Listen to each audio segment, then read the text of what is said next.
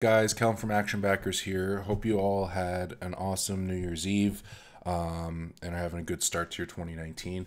I just wanted to talk to you quickly today um, about something I talked about in the podcast, which is how we bet for value. So I thought it'd be cool to put together for you guys a few calculators that I use. So this is a, a spreadsheet that you can use on your own. So the first thing you're going to want to do here is just come to File and then you're just going to want to make a copy for yourself and that way you can edit it for yourself. Um, but let's go through um, what these cells mean and, and, how to actually use this sheet. So to start with we have our ev calculator and this is really simple. So all you're going to say is whatever your risk is. So in this case we're risking 1.66 units to win one and then you're going to set your unit size. So i have it set to 25 but you can change it to anything you'd like and then you're going to enter in your predicted win percentage. So if you think it's going to win, um, if you're 65, you think there's a chance that it's going to win 65.8% of the time, then your EV on this bet is $5.80 in the long run, meaning you should make that bet. However, if we come to the second example, if you're risking 1.8 units to win one, and you think that your the win percentage is only 52%, you can see based on a $100 unit size in the long run you're actually losing $34.40 and you can change this up, you know, even if it's 10 or actually let's do I don't know, $5. Even on $5, you're losing $1.72. So, you don't want to make that bet, okay? Um, sometimes you'll run into these marginal bets here. So you can see we're risking two to win one, but we think it's a 66.7% chance to win. So two thirds, per, two thirds um, percent chance to win. And you'll see here that it's in the long run, it's, it's plus EV, but it's marginal. So these are some of the ones where you're laying a lot of juice, uh, maybe on a heavy favorite. So you'll want to pick your spots here. So that's essentially the EV calculator, and how that comes into play is with the implied probability and the Kelly criterion. So, excuse me, the implied probability. This is essentially you're just plugging in the odds that you're getting from your book. Um, so you're positive and you're negative, and that'll work out the the vig that the book's actually taking. So in the example here, um, you know the bet I, I found the the underdog is is playing at plus 175 and the favorite is at minus 195. So you'll notice here for the negative odds, you don't actually have to put the negative in front. You just type in the number and it'll calculate the VIG. So right now on this book, the, the, or on this bet, sorry, the book is taking two and a half percent. Now, what this means is we can use this implied probability um, as well as an EV calculator to figure out what we should bet. So in this case, we'll look at the positive odds here. So let's say the book thinks, um, or the, the line is telling us that it's a 36.36% chance to win, but we actually think it's 40%. What we'll, what we'll do here, um, first of all, we can plug that in. So let's say um, we're going to risk one to win 1.75, right? Um, and this is just divided by 10 uh, divided by 100 here. And let's say 100 hundred dollar unit size. So here we actually think it's 40% so you can see this is plus ev in the long run. We're actually making $10 so um, but what what should we bet? Should we just bet one unit on this? Um, should we bet five units? Who, who really knows? Should we bet $100 i don't know so to figure that out, all you would do is you would take the odds that you're given, so 175, convert them to decimal odds, which I've set up in this calculator to do for you. So all you're going to do is plug in the decimal odds here, 2.75, your projected win probability, which we said was 40%, and that's going to calculate the recommended wager size as a percentage of your bankroll um, and you can see the different options for the full Kelly criterion, half, third, quarter, and eighth. Um, that's also going to tell you the corresponding wager size in dollars. Okay, so um, in this case, we should make that bet, Um, if we wanted to get really aggressive with the full Kelly, we'd be betting fifty-seven dollars. I usually look at the half or third Kelly. That's that's where I'm comfortable. Um, your risk of ruin is a lot lower, but you still have a lot of upside. So in this case, I'd probably be looking around a half Kelly. So we'd want to make a, a bet around twenty nine dollars. Um, calculated as a, a as a unit, that looks like one point one six units. So this unit measurement is essentially just taking um, this calculation here, which I've set to 2.5% of your bankroll. So again, you can enter your current bankroll in here um, and you can see if we, you know, let's do something like that. It will automatically calculate for you and change up everything you need.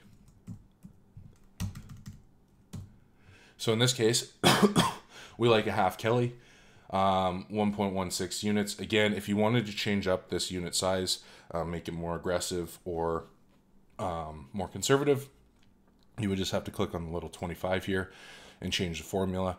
So essentially right now it's just multiplying the current bankroll by 25%, which is point, or sorry, 2.5%, which is 0.025. So if you wanted to make it say 5%, you would change it to a 5, and that would give you 50. If you wanted to get really aggressive and change it to like 10%, you go 0.1, and that'd be obviously $100. Um, I think, especially with bankrolls around $1,000, um, two and a half percent is is really good to start with. Um, and adjust as you feel comfortable.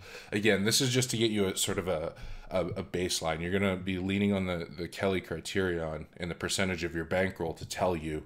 Um, but I know like people like to see unit numbers and things like that, and for tracking it might make things easier. So all we're gonna do here is we like this play. So now we have obviously up here our potential plays, and this is just to keep track while you're going through and doing your homework. Um, so you can see here I have a few plays from the other day. Um, the Hurricane Senators, Red Wings, Habs, and the Sharks and the Oilers. That was from New Year's Eve. Uh, we won three three point nine units on on this play, um, mainly from uh, parlaying the the Hurricanes and the Habs. We got a huge, like really great price on the Habs, as you can see. Um, they were underdogs, but we had them as big favorites, so we we bet them a lot there. um, and then, so all you would do is you would just say Team X, whoever you're betting on, and then you can just take in, you know, if you want your half Kelly, you would just say 1.16 units,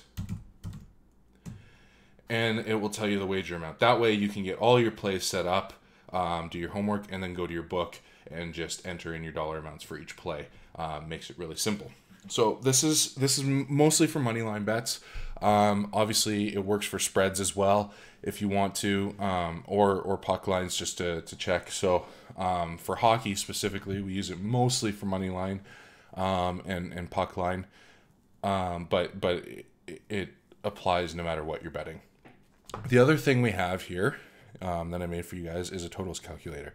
Now, I've made this specific to hockey, so if you're not looking to bet hockey, then it might not apply to you. Um, but the principle sort of remains the same. So essentially, what we have here is anywhere you see um, blue in the cell other than this blended goal total, that's an input. Okay, so um, and essentially what we're trying to do is get um, a blended total using a couple different metrics um, and see compare that total to what the actual line is. So in this case, you can see here, um, we've gone ahead and filled this out. This is old. Um, the road team was Vegas, and the home team were the Coyotes. So the road team, um, we took Vegas, and however you choose to figure this out is up to you. We took the road um, goals for on average, which was 2.74 goals. Their shots for, which is 3.96 shots, uh, 31.96, sorry, shots for, and then their average shots per goal. And this is simply just taking um, this number here, the, sh- the, the shots for, divided by their goals for, to give you the average number of shots it takes to score a goal. Um, we're taking their average goals against, and then their average shots against. Again, that, that that's calculated um, in a similar way for the expected shots against and then we're filling out a few other fields here as well. So these will automatically be calculated for you. Um, so expected goals against, and then shots against divided by opponent shots per goal. So I know that sounds complicated, but if you look at it, it's it's quite logical. So all this is saying is your average, if we look at the formula, H3, so H3 is here. So the expected shots against, it's taking that, and then it's just dividing that by the opponents, so in this case the Coyote, average shots per goal, which is 12.13, blah, blah, blah. Okay, so that tells us that we can expect roughly two and a half goals based on that criteria. And the reason we do this is we're trying to get as many different combinations of potential outcomes as possible just to get a good um, a, go, a good potential goal total. Um, and then we compare it to the line. So you can see here the line was actually five and a half, and our blended goal total lands right on five and a half. Um, so that tells us a couple things. One, it seems fairly accurate, um, but two, there's probably not a lot of value in the line, right? If if we know that the line is five and a half and our our totals are landing right around that, even within a quarter puck, you're probably not going to want to take it, especially when the odds here are not really leaning one way or the other. Um, however, let's say the Coyotes home goals for was actually instead of 2.67 let's say it was 4 now you can see just by adjusting that one metric even if we keep everything the same you can see now that our goal total jumps up to six and a half so if we were ever doing this and this actually came up the other night there was a total of five and a half and um, the our calculations came out to four and a half. Um, if you're ever doing this and it comes out like that, now you see if you if you actually think it's six and a half and the line's at five and a half, and you look at the over, we're getting we're getting positive odds. This is probably a good bet.